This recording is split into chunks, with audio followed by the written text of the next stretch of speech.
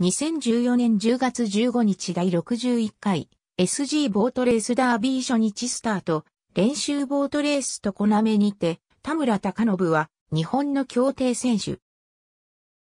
徳島支部所属登録番号4028徳島県出身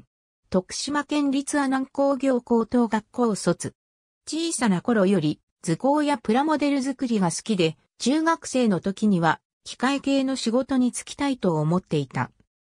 高校卒業後、約2年間建設機器の修理の仕事をしていたが、当時付き合っていた彼女の父親に、協定選手になれよと勧められ、一緒に見に行った丸亀協定場、総理大臣杯で優勝戦を制した西島義則の姿を見て、協定選手に憧れを持ち、深く考えずに受験したところ合格。元栖研修所に入所する10日前に付き合っていた彼女と入籍。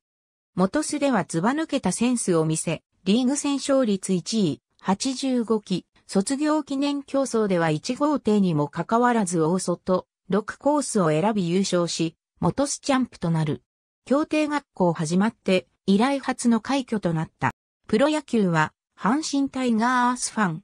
1999年11月19日に地元鳴門協定場でデビュー、初出走で初勝利。2001年1月に初優勝。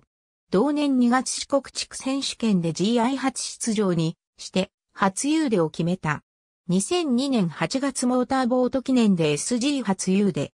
2003年新栄王座決定戦に初出場し、開会式の選手紹介で、今回で最初で最後の王座にしたいと思いますと公言し、公言通り優勝。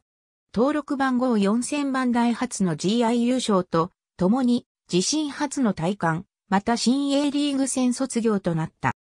これはデビューしてからわずか3年2ヶ月のことで、この3年2ヶ月間に新 A リーグ戦には10節しか出場しておらず、その間に SGGI に16節も出場している。さらにその年の宮島チャンピオンカップも優勝。2004年8月オーシャンカップで4度目の SGU で4号艇で登場し本番は5コース角からスタート一発のまくりを決め、登録番号4000番台初の SG 優勝を飾る。その勢いで11月の SG 協定王、チャレンジカップも制した。さらに、登録番号4000番台初の賞金王決定戦にも出場した。2011年11月、大村協定上での SG 協定王チャレンジカップで、インニゲを決め優勝。3度目の SG 制覇となった。